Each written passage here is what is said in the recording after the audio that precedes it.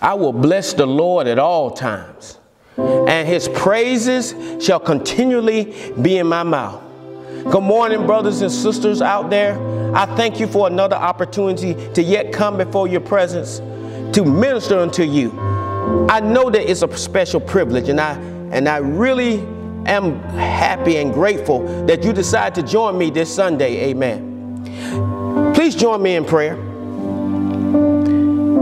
Father, we thank you, Lord, for this day that you have given us. Lord, we stand in awe of all your wonderful gifts and the grace that you have placed in our lives. We know, Father God, it was you who kept us. It is you who watches over us. We know, Father God, it is you who made ways out of no ways. Lord, you have made the crooked path straight. And for that, Lord, we say thank you, Lord. And Lord, as we come together in the Spirit, Father God, to worship you, to, to give you all the glory the honor and the praise, and also, Father God, to hear word. We ask, Father God, that you begin to do surgery on our hearts. If you see anything, anything, Lord, that would that's counter to your word, that's counter to the will of God in our hearts or inside of us, we ask, Lord, and we give you permission to remove it in the name of Jesus. Fill us, Father God with a fresh anointing. Fill us with more of your spirit, Father God. Lord, we need to be refilled today. We need to be re energized today. Lord, we need to be encouraged today. So, Lord, we commend this worship service to you, Father. We need you, Father God. We, our hearts and minds are on you, Father God. So, Lord, bless my brothers and sisters, Father God. Anoint me afresh that I may be able to minister unto them. In Jesus' name, amen. Amen. At this time, First Lady is going to lead us in a worship song. Amen. I'm going to ask that you would join in with her. Wherever you are, just join in with her. Amen.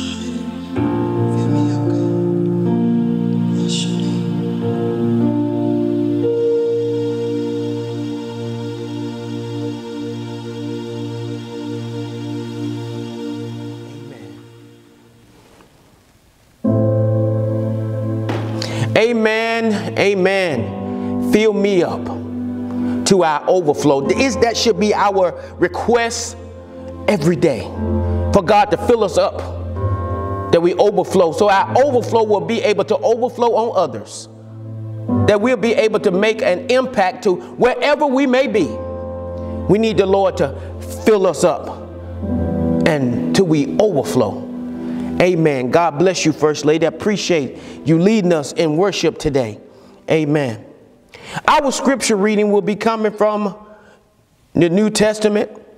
It will be coming from James chapter 1 and verses 21 through 25. James chapter 1, verses 21 through 25. And the word of the Lord reads, coming from that 21st verse, Therefore, put away all filthiness and rampant wickedness, and receive with meekness the implanted word, which is able to save your souls. But be doers of the word, and not hearers only, deceiving yourselves. For if anyone is a hearer of the word and not a doer.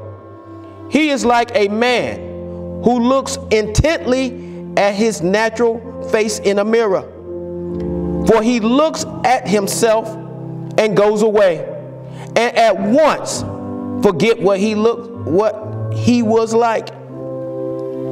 In verse 25, but the one who looks into the perfect law, the law of liberty, and perseveres, being no hearer who forgets, but a doer who acts.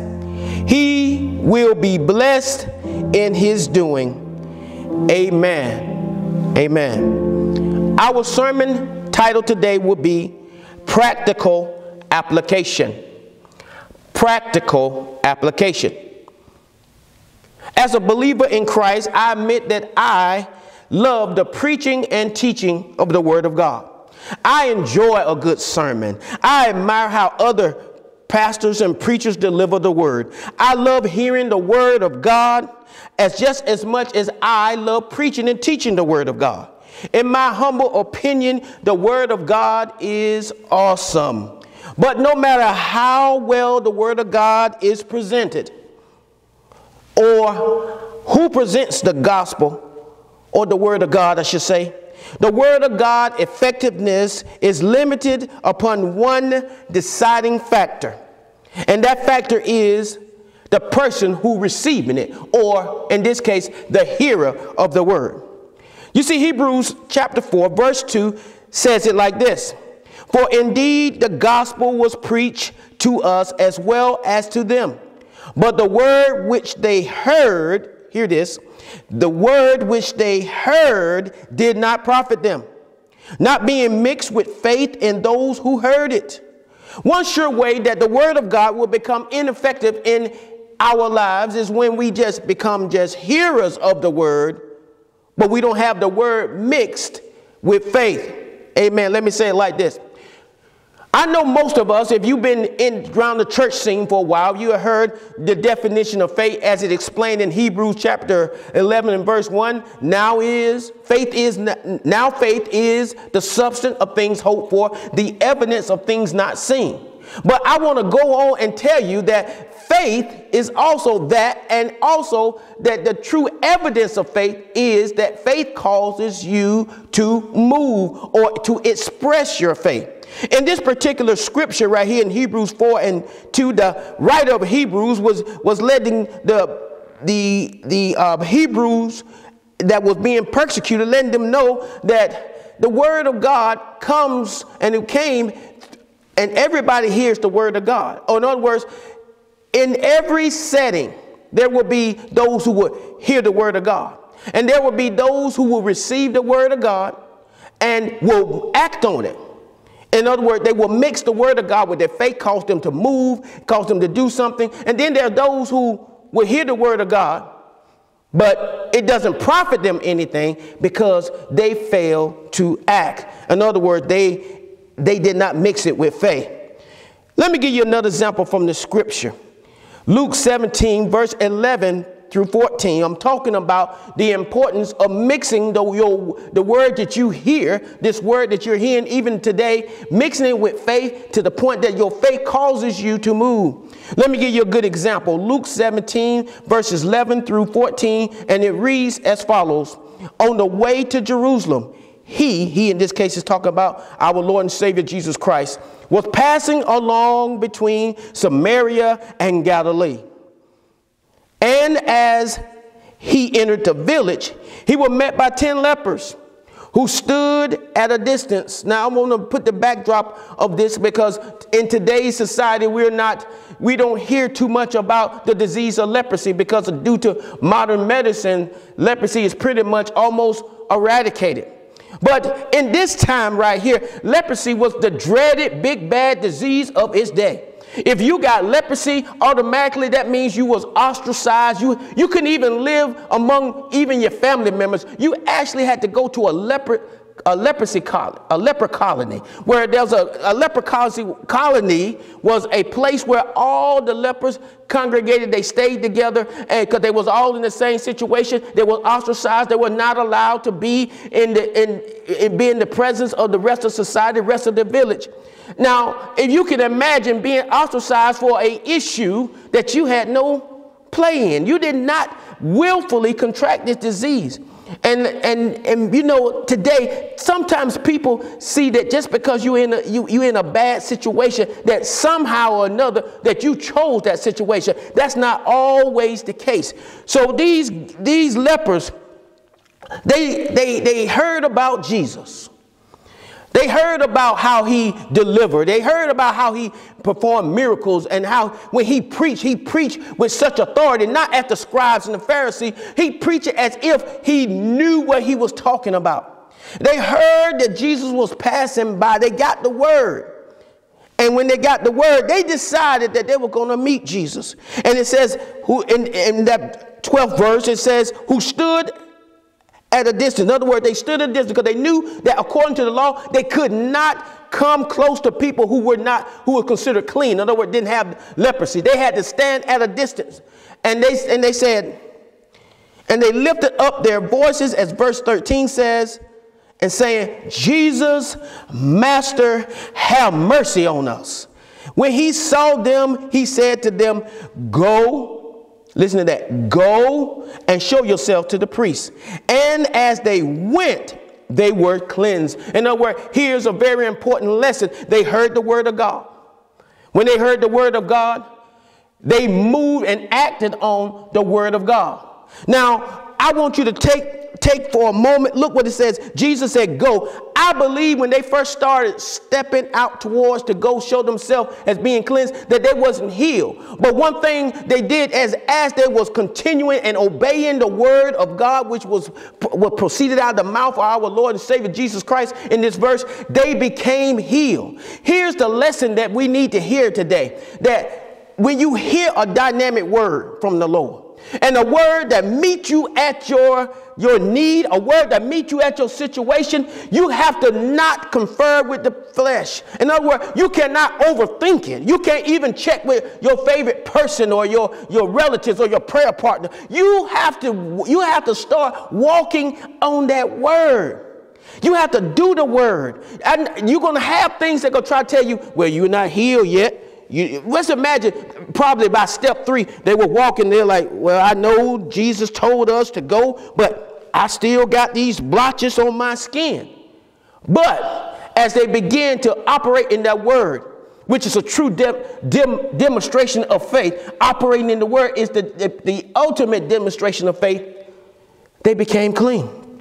I believe that, that what the Spirit wants us to understand this morning is that it's just time out for just hearing the word of God and just letting that word of God just, just stay at your seat.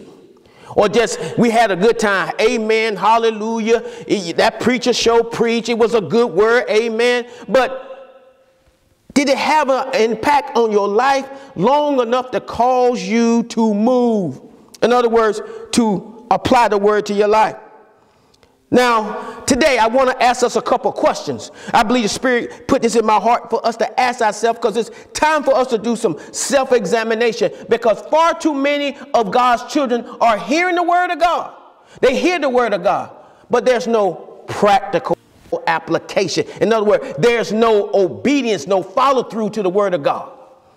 Here's the question number one How do you view the Word of God? Do you consider the Word of God to be true? Do you consider to be relevant to your situation? Do you consider the Word of God to be necessary?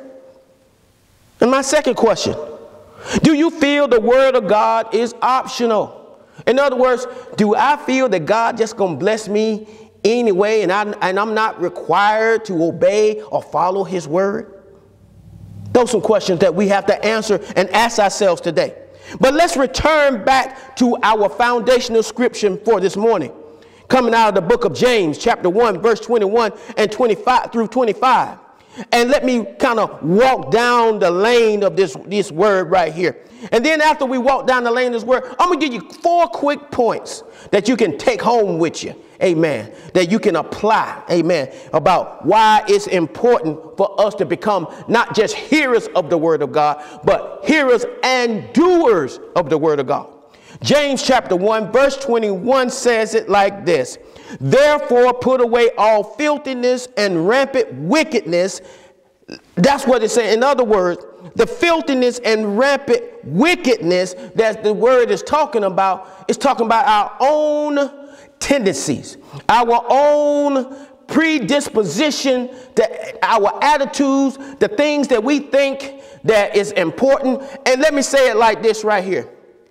If you have a thought or you are, are predetermined, or let's call it what it is, if you're prejudiced about an idea or even people, and you cannot back your prejudice against the word of God, then you have to get rid of what I call, you got to get rid of that stinking thinking. In other words, when, when, when James is telling us to put it away, what he's really telling us, we need to make room in our lives for the Word of God.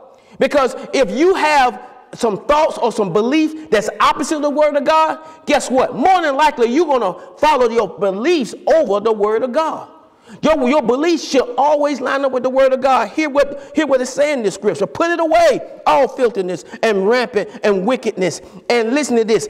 And receive the, with meekness the implanted word the implanted word. In other words, every time you are he, you are listening to a preacher or a teacher, that's what that person is doing. Is that person is acting as the sower, sowing this word, planting this word in your life. Even right now, what I'm trying to do by the power of the Holy Spirit and, and, and by the, the, the sanction of, the, of God, I'm trying to plant this word in your ears, and hopefully it makes it in your heart that it will have an impact in your life. Remember, and only the, the word doesn't become, doesn't impact your life until it causes you to move. Amen. Which is able to save your soul. So we'll see that, that James is saying this, the 21st verse, that we have to make room for the word. I'm reminded of Luke 2 and 7. If you go to Luke 2 and 7, you'll find that Mary had Jesus, the baby Jesus, in the manger because it said there was no room in the inn. The end today that we're talking about is your heart. Does your heart have room for the Word of God? Because a lot of times the reason why people don't become, they, they just hearers, they get stuck at stage one, which is hearing, and never make it to stage two, which is doing it because we don't have no room in our lives for the Word of God.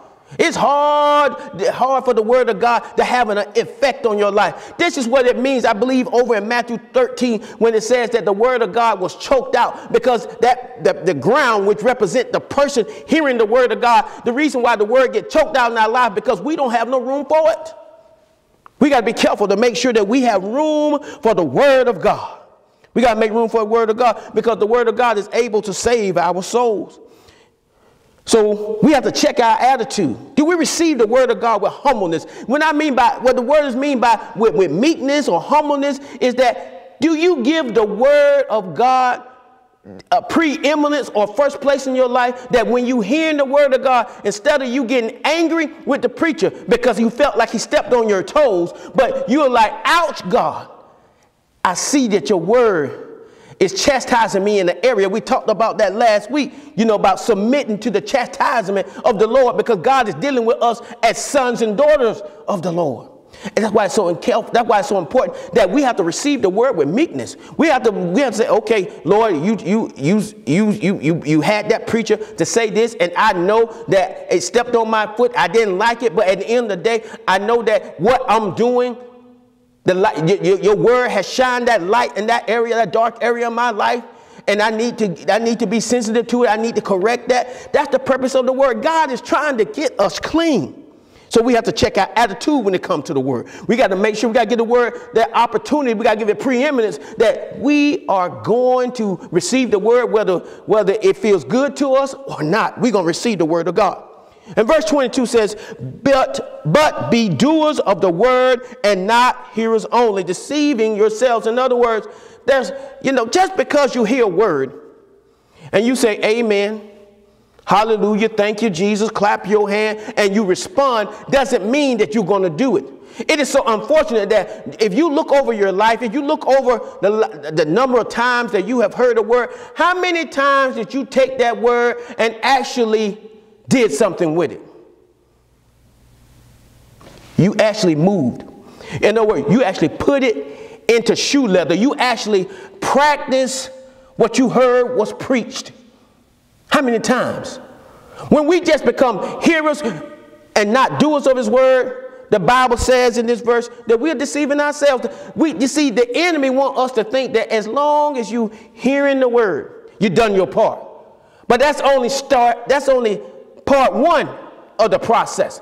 Part two is taking what you heard and doing something with it. And for in other words, the word that a lot of us don't like, that four-letter word, it comes, it's talking about we have to obey. 23 says, If anyone, hear this, is a hearer of the word and not a doer, he is like a man who looks intently at his, at his natural face in a mirror. For he looks at himself and goes away and at once forget what he was like. In other words, imagine you got a word from the Lord. That word was on time. That word knew your address. That word chastised you and, and highlighted some areas in your life that you needed to work on. And yes, you said, you know what, pastor, preacher, whoever, you know what? That word was right on time. It was right for me. Or better yet, imagine you was going, you going through a difficult time in your life and you heard that preacher preach a word of encouragement, what you ought to do, and, and, and you heard that word, but it turns out that when you heard that word, it sounded good for a moment, but right after you left your seat, right after you went out those double doors and you went back home, you didn't do nothing with that word. It's time out for us as the people of God to just be hearers, but to move on to part two or to step two or the second part of the process, and that becomes doers because that's when the blessings of God begins to open up and flow in our lives. I believe as I was to take a, a poll right now, then I would ask who here want to be blessed. I believe everybody would raise both their hands and both their feet at the same time if they could. Everybody wants to be blessed. At least I hope everybody wants to be blessed. But we got to understand that we play a part in the blessing process. We play a part in the blessing process. We're going to talk about that in a few minutes. And finally, verse 25. But the one who looks into the perfect law, the law of liberty, which is the word of God. Because the word of God, when you, a lot of people think that doing the word of God is restricted, but actually, as you ab- abide by the word of God, you live by the word of God, you'll find a level of freedom that you could never get to without the word of God. Because God, because Jesus said he come to set the captives free.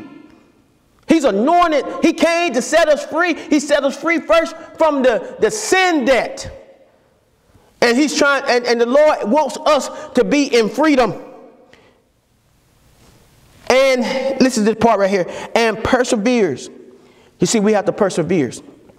We have to, we have to, we have to take it, we got to take a licking and keep on ticking. Sometimes the word of God is going to encourage us. Some kind of word of God is going to, going to get right in that area that we don't want to deal with. So we have to persevere. We have to obey and follow and abide in that word that we'll be able to, to get to the next level. Being a no hearer who forgets, but a doer who acts, he will be blessed in his doing. I don't know about you, but I want the God, I want God to bless me in my going out and my coming in. I want in everything I lay my hands to do that God to bless it. But it all, but if I really want to get the blessings of God, it comes with obedience. Look at it from this standpoint right here. For those who may have had children or those who were children, I learned long time ago that if I wanted to get something from my parents, I had as a child got to do what they say do. And as I grew up and became a father, I learned, I, I, tried to instill in my children the importance of following instructions. And I'm here to tell you that we all understand if we, for those who are parents, that if your children are doing what they're supposed to do and being obedient, doing what you're asking them to do, and if they ask something of you within reason, you find yourself compelled to do it. Now, how much more, if we at this earthly level, we think like this, how much more we think our Father thinks? When we doing what God calls to do and we being obedient, we practicing what we say we gonna do and we, we doing what God tell us to do and we find ourselves in a position where God, when we go to, when we get on our knee and we ask God, we send up our prayer requests and we've been doing, fully doing what God calls to do, then we make it easier for God to release the blessings to open up the windows of heaven and release that blessing to us. Everybody want to be blessed, but we got to understand as, I'm, as I keep echoing through this message that we have a part to play in the blessing. The great thing about it, nobody can block your blessing.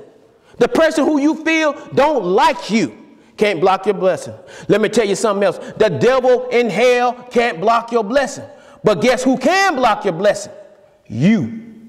It all rises and set on you. Amen. Now, I said all of that to get to this, get to my four points, and then I'm going to let you go this morning. I want to tell you or, or, or give you four points on why it's important to be doers of the Word of God. Here's point number one God is requesting, or should I say it like this obedience puts you in position. Position. See, blessing is all about receiving the blessing, is all about being in position. Saints, we have to get in position in order for God to bless us. Very few of us got jobs where if you never work, that you're going to get paid. In other words, you have to be in it to win it.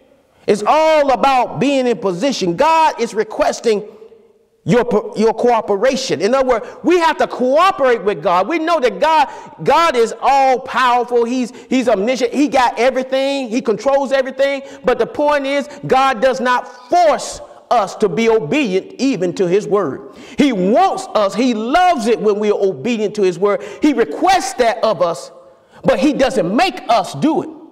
But it's to our benefit to do it. Now, let me give you an Old Testament scripture, Deuteronomy 28. That's one of my favorite chapters in the Old Testament, Deuteronomy 28 and verses 1 through 14. In fact, do yourself a favor and read the whole chapter upon your devotional time. Read Deuteronomy chapter 28. You'll see something very fantastic. And for those who will say, well, Pastor, that's the Old Testament, I want you to know that the word of God is still, uh, the old or new, is still applicable today.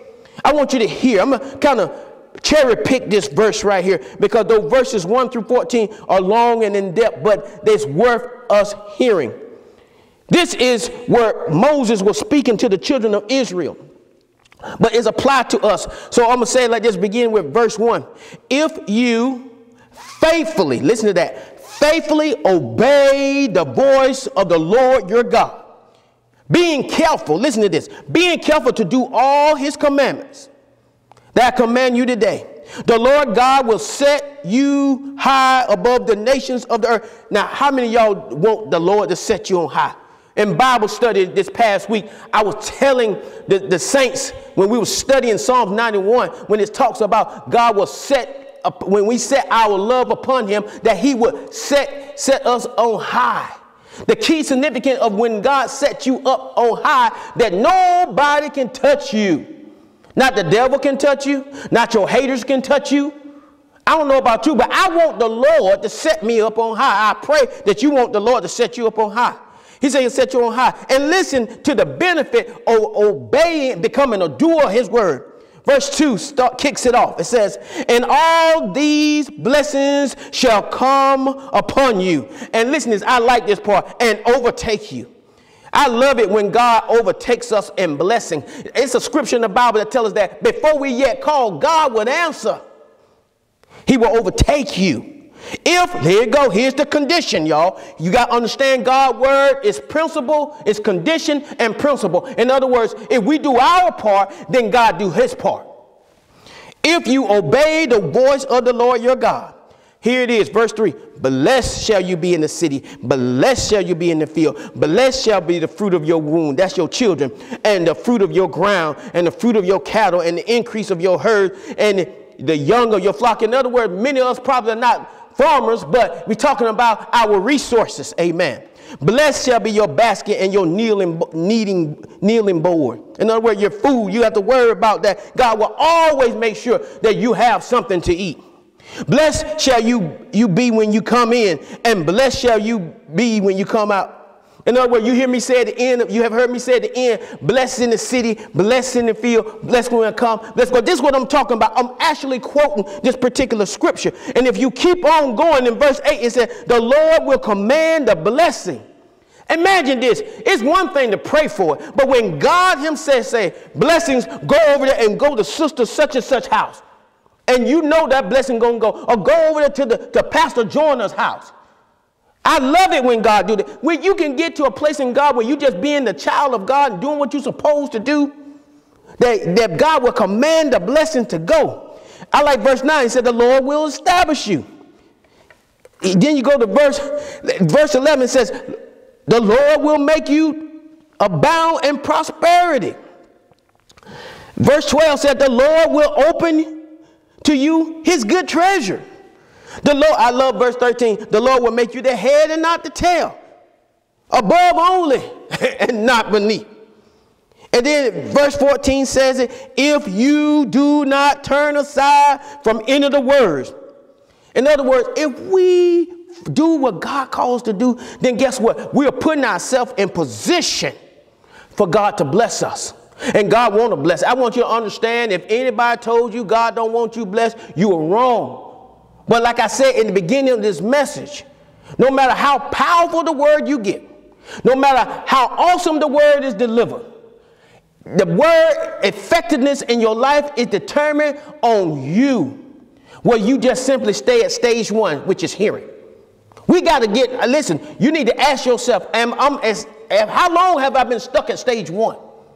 I don't know about you. I believe God wants us to go to stage two, which is doing, where your hearing prompts you to the point of doing because you trust God, which is a demonstration of your faith. Let me give you point two. Point two says, it, says this obedience demonstrates your love. Okay, being doers of God's word demonstrate your love. Let me, let me say it like this from a practical standpoint. Growing up, I did not always like what my parents told me to do. Sometimes I thought they was unreasonable. And it got to the point that even though elder I got, I thought I knew more than what they knew. I thought that they was out of touch. But I still submitted myself to my parents because I love them. Listen, hear what the word of God says in John 14, verses 21 through 24. Who, now this is Jesus in your King James Version or your New King James Version. This is, your, your word will be highlighted in red. That means this is Jesus speaking. Whoever has my commandments and keep them. Now, the word keep doesn't mean for you to put it somewhere and secure it and just hold it in a place, but keep means obey. So you can interchange keep to obey. He it is who loves me. See, a lot of times we believe that because I praise God and I said all the right words, Lord, I love you.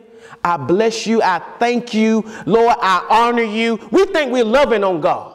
But here's the thing you could be saying the right things, but if you're not obeying Him, God, God, God said, you just, you just sounding brass and tingling cymbal. Ain't nothing to you. But when we start, when, when our love for God causes us, because I'm going to be honest with you, sometimes doing the word, being obedient to the word of God is uncomfortable. A lot of times it goes against our fleshly nature. Think about it. Love your enemies. Come on. Many of us don't want to love our enemies. If the Bible said hate our enemies, we'd be like, yes, Lord, we can do that.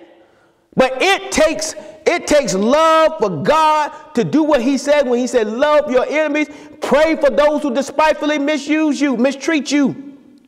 It takes a lot. It takes so much. And he's saying, he says it like this right here. Back to that, that, that, that verse 22. Judas, not Iscariot, said to him, Lord, how is it that you will manifest yourself to us and not to the world? And Jesus answered him, If anyone loves me, he will keep my word. Listen to that. He will keep, she will keep. They okay, let me say it like this. He or she will obey my word. And my father will love him or her and we'll come to him or her and make our home with him. Listen to this right here.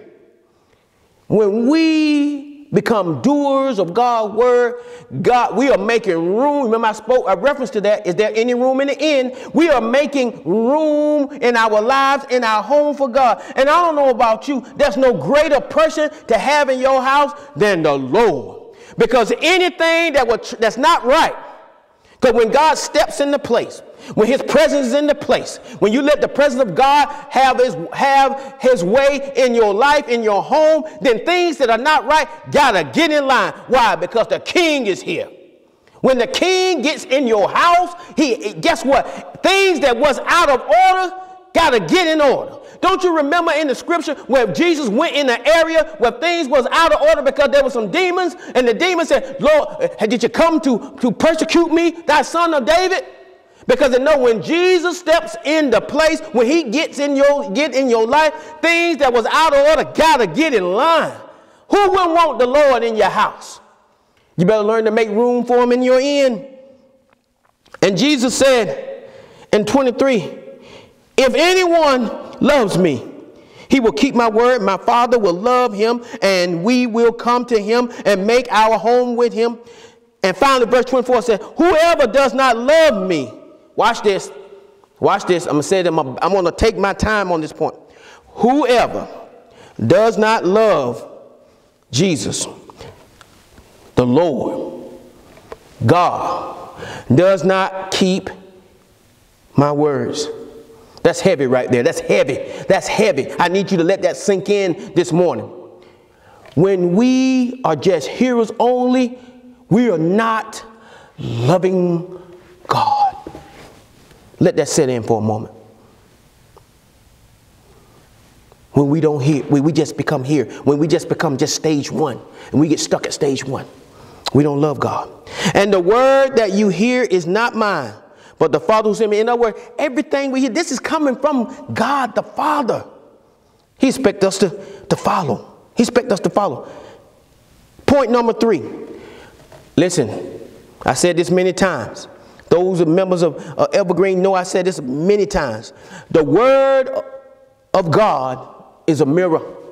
Listen, the Word of God will show you you. Have you ever heard, uh, uh, been in a, a, worship service and the preacher was preaching and, and, you, and, you, and you felt like that preacher was, must have been in your house last night? It's not that that preacher knew what was going on. What it was is the Spirit of God was moving through that preacher to show you and to expose some things that wasn't right or some things you need to be made aware of. In other words, the Word of God will, will, will reflect some things that are out of order. It will reflect you. Listen what it says in Hebrews chapter, I'm sorry, listen what it says in 2 Timothy chapter 3 and verse 16. All scripture is inspired by God and is useful, watch this, to teach us what is true and to make us realize what is wrong in our lives. I told you that last week. About the chastisement. It corrects us. Remember that mirror? The purpose of a mirror? What does a mirror does? When, when, when James, later on, we just got to reading that, it, that when you become hearers and not doers, it's like a man looking in the mirror. He looks in the mirror, and the purpose of most, most of the time when we look in the mirror is for us to look and see what's out of order so we can get things in line. You hear the word of God, you hear, you know the word of God is true, but you refuse to change. The word of God is a mirror. It corrects us when we are wrong and teaches us to do what is right. It shows us the word of God. I'm sorry, I went to I went to 2 Timothy chapter chapter 3, verse 16. I meant to go to Hebrews chapter 4, verse 12. And it reads, For the word of God is alive and powerful. It's sharper than the sharpest two-edged sword, cut between the soul and the spirit, between joint and marrow. Watch this. It exposes our innermost thoughts and desires. The word of God is a mirror. And finally, verse 4, I read it already about the Word of God.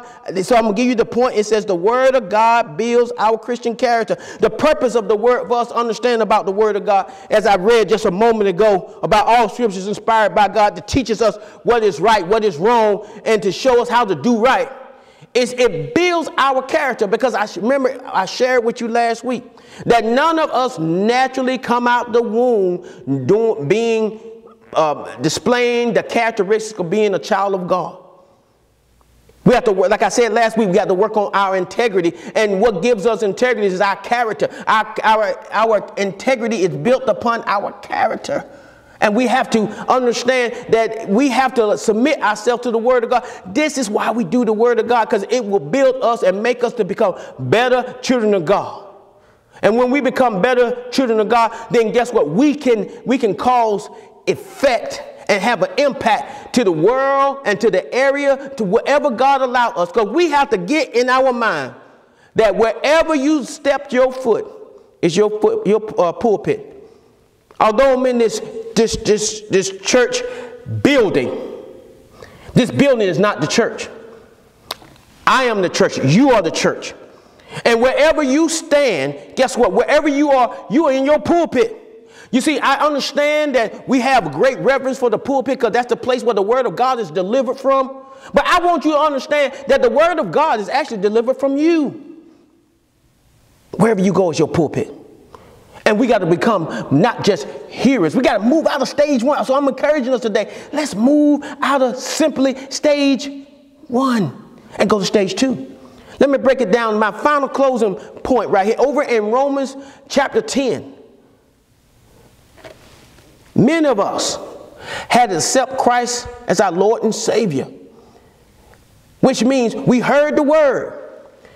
We knew that the word convicted us and we acted on it. We confessed with our mouth and believe in our heart that God raised Jesus from the dead. The Bible, Bible said we are saved. So what we heard it and we moved to step two. We moved to step two in order to get our salvation. So guess what? God wants to do more in our life than just, just dictate where we spend eternity. Now, going to heaven and living with Him forever is good enough. Don't get me wrong. That's awesome enough. But I want you to know, my brothers and sisters, people of God, saints of God, children of God, that God has greater things in store for us. But it's but you see, it's it's wrapped up and tied up in our our moving from stage one, which is hearers, to stage two. We got to move to stage two, y'all. God is calling us to stage two. In order for stage, uh, when we move to stage two, then some things can change. We have to examine ourselves. How do we view the Word of God?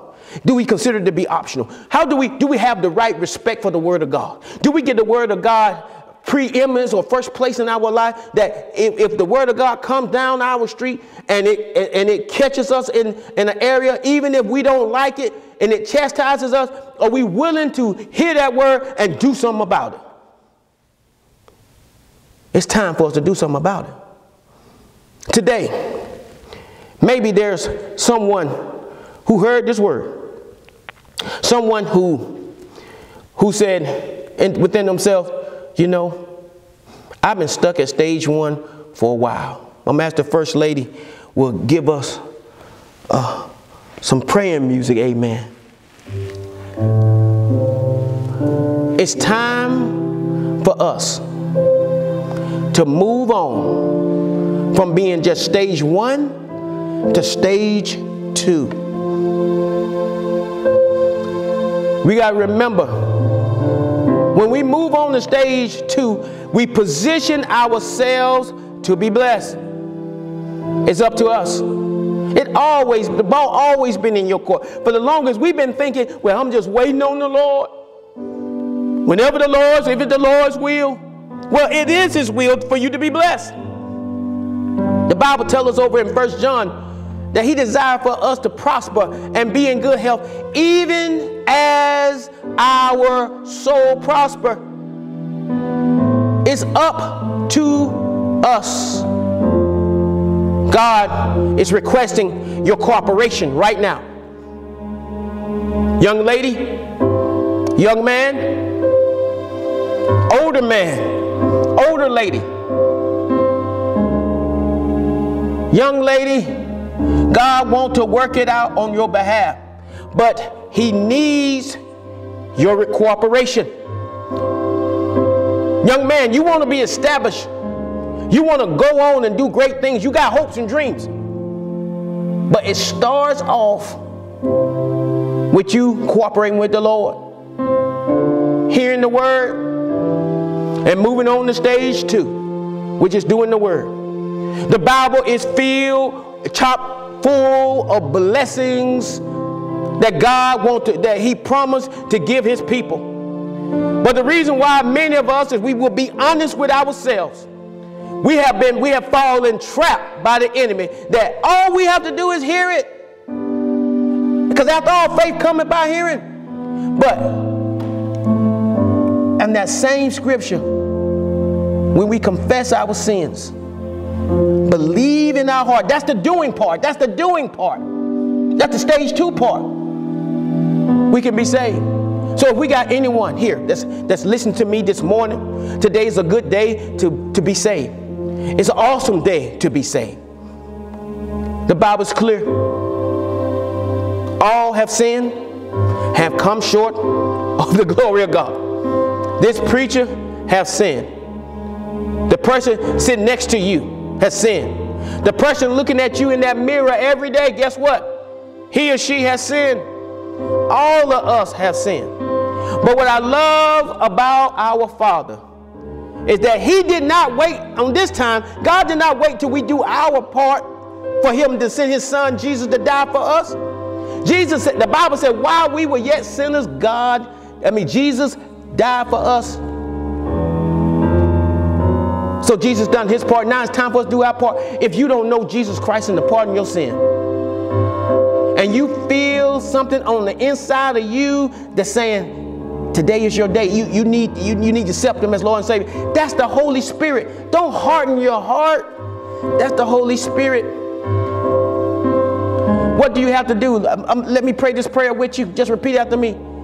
Dear Lord, I recognize that you have been keeping me all my life.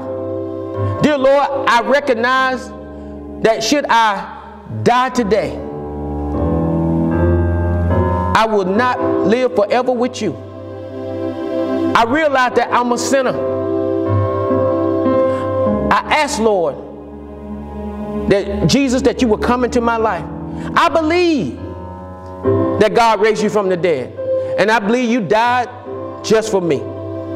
I receive you, dear Lord, as my Lord and Savior.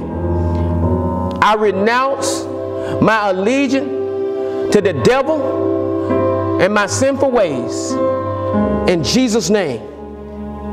And if you prayed that prayer, you saved. You're saved. You just as saved as I am. You saved. But now in stage two time to hear the word and become a doer. So let me pray for all my brothers and sisters in Christ Because every now and then, we, if we be honest with ourselves, we can be, we hear the word of God, but we can be kind of stubborn.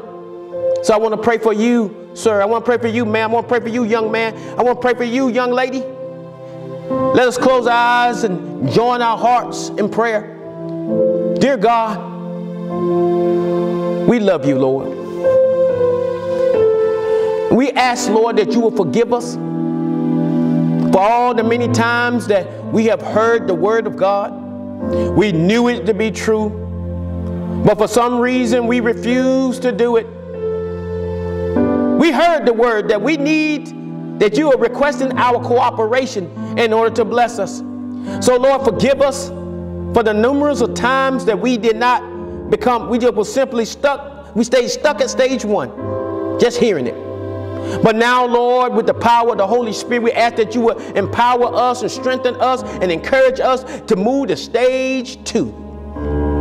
And Lord, I pray that you will bless my brothers, my sisters in the Lord. Bless your people, Father God, that because I know how the enemy works. The enemy will try to get them to focus on things. Things haven't moved yet. But I know, Father God, that you are moving and have moved on our behalf. So, Father God, I pray that you will encourage my brothers and sisters in the Lord today. I pray for their strength. I pray, Lord, that you will guide them. In Jesus' name, amen. Amen. And amen. On the way of announcements, I just want to encourage us to remember that although our Lord is a healer. He's a deliverer. He's our Savior. Don't use that as, as an excuse not to obey the instructions that we are to maintain social distancing, that we are to wash our hands frequently and, and, and being careful and not foolish with our decision making. I, trust me, I am just like you. I am ready for this disease and for God to move the disease and eradicate it. But I believe that we ought to not tempt the Lord our God. So I'm, I'm encouraging us today to maintain and be vigilant and be sober. Do what we're supposed to do Let's practice social distancing. I don't care if you see somebody else not wearing a mask, but you do your part. Continue to pray for those who are in leadership in our governments. Continue to pray for those who are sick, because that's what we as the church supposed to do. I'm also want to remind us that next week, if the Lord say the same, we will celebrate communion. I'm going to ask that you would prepare yourselves. Use this time to prepare yourself. And if you, if you, whatever you use, whether it's bread or whether it's a cracker, whether it's juice or water, we're going to pray over it, consecrate it, and in the spirit, we're going to take communion together. So next Sunday, be mindful. Prepare yourselves for communion. And it is our custom here at Evergreen to wish everyone a happy birthday and wedding anniversary at the beginning of the month. So if you, sir, if you, ma'am, are celebrating a birthday or wedding anniversary during the month of July, I speak God blessings upon you. Amen. Until next time, let us look unto the Lord and be dismissed. Now may the grace of God, the sweet communion of his Holy Spirit, May it rest, rule, and abide with us hence now and forevermore. Dear Lord, remind us. I pray that this word finds a home in the hearts of your people. That we move from being stage one, which is hearers, to stage two, which is doers. Bless my brothers and sisters. And I declare that you are blessed in the city, blessed in the field, blessed when you come, blessed when you go and that no weapon formed against you shall be able to prosper. And every tongue that rises up against you in judgment, you shall condemn. Until the next time, I look forward to seeing you. Amen. God bless you. Go in peace.